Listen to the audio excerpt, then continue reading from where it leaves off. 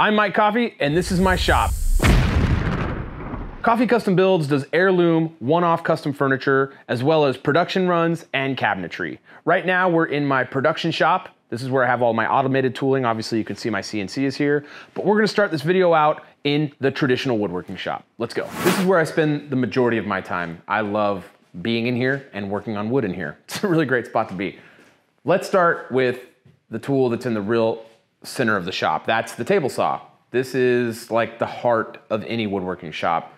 This is a SawStop PCS three horsepower. I've got some upgrades on here. I've got this flip stop system and I've got these JessEm guides. These are just quality of life things. The bottom line is the table saw is such an important and key part of any woodworking shop. On my table saw, I've got this router wing. Truthfully, I don't really want this router wing here anymore. I wanna make a separate router table. But I don't have the space for that right now, so this is the best option. And it's been really great. This is the SawStop wing with the JessEm lift, and it's a great lift. Coming off the table saw is this outfeed. We use this as an assembly table as well. It's covered in glue. It's, uh, it's never clean. It's never this clean. I tried to clean the place up for this video and make it look a little bit more presentable, but uh, you can be rest assured that this will be filthy by tomorrow. this is my jointer. It is a 12 inch Laguna.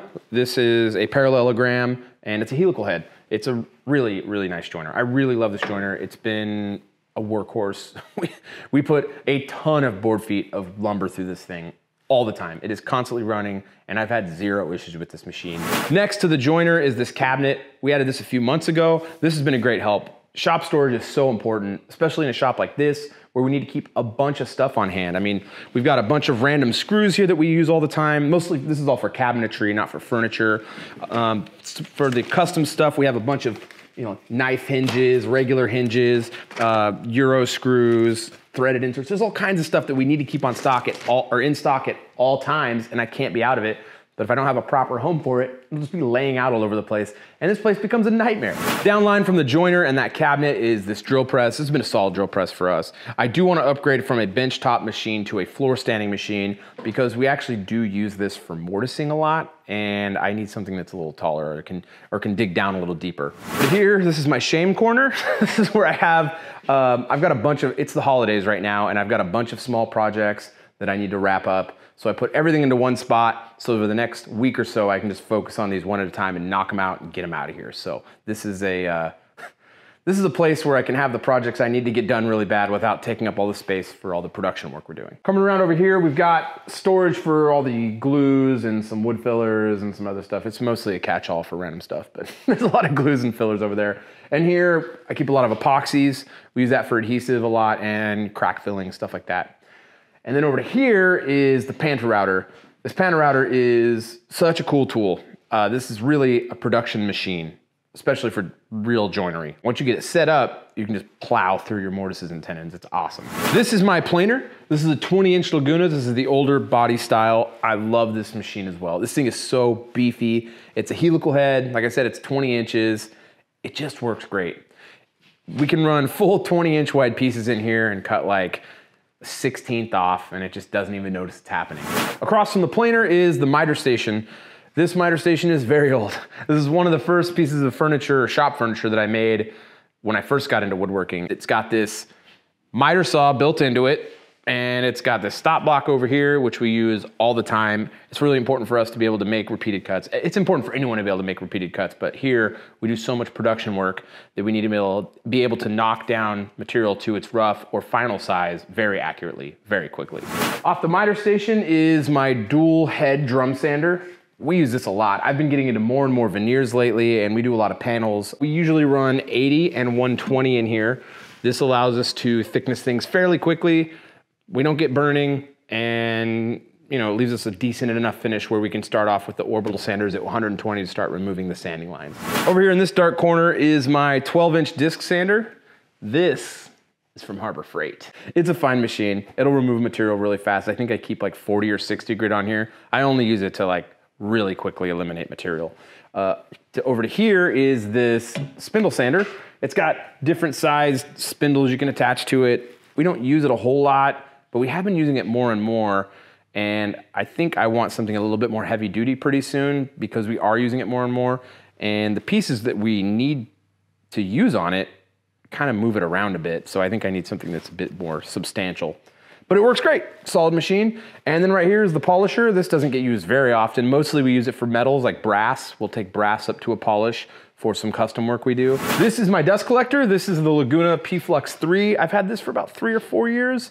It's a been a solid machine. I am definitely outgrowing it, but for years this has been a solid machine. I think for a hobbyist shop, this would be killer for a hobbyist shop. All the way up until someone who's running a business, I think you can get a lot of mileage out of it. I mean, I have, I've gotten a ton of mileage out of it, but I'm really starting to get to the point now in production where this just isn't cutting it anymore. Uh, this tool wall has allowed me to put all of my powered hand tools into one central location and to be able to access them quickly and easily. And this is just super nice. This is just more about the conversation of me trying to up my organization game in the shop. It helps us be quicker, more efficient and more productive. This is my shaper. This is the Laguna shaper. It's a five horsepower. This is a power feeder. This is awesome. It's got three wheels that feed the piece through and keep you very safe. It also it, you know, has less wear and tear on your body. Really great.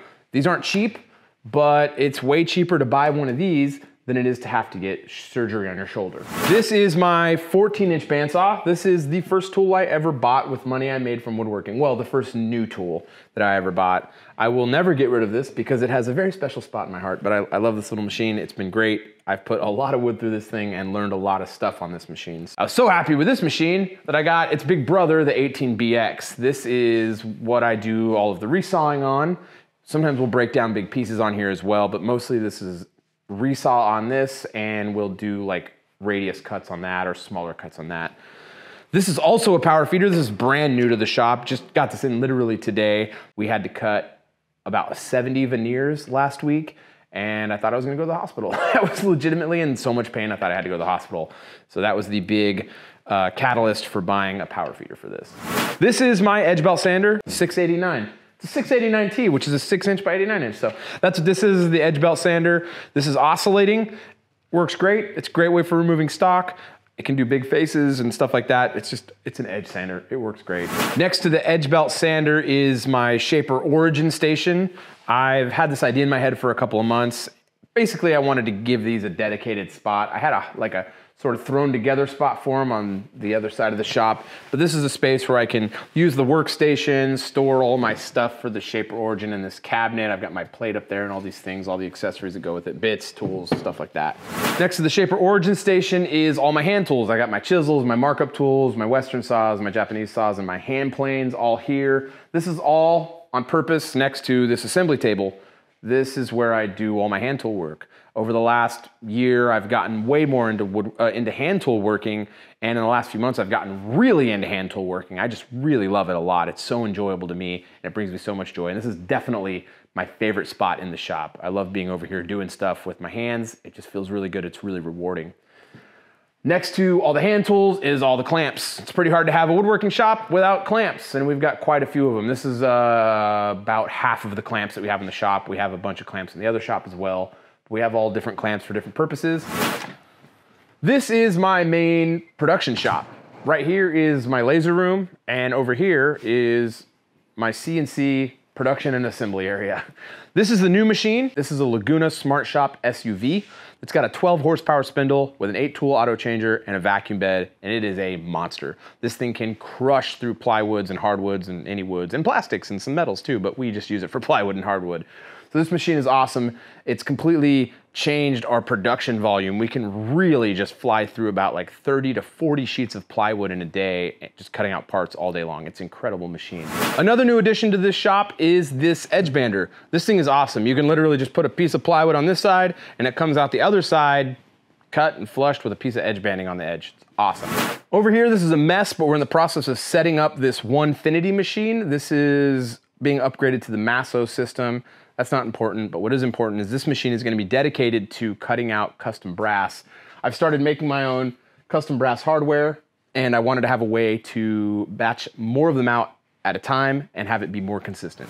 This is my laser room. It is pretty small, but it does everything I need it to do. It holds my lasers and we cut parts in here out of it. So this is my 150 watt CO2 laser and this is my 50 watt fiber laser. Tucked away over here is my lathe. I love turning. It is something that I found a lot of joy in and it brings me just a ton of happiness. Sadly, it's tucked away over here because I don't get a lot of time with it because I'm so busy. Also, this isn't the ideal spot for it and I this really should be in the traditional shop, but there's no space for it. So hopefully soon I'll have a really nice dedicated spot for my lathe and I'll be able to spend time in there more often.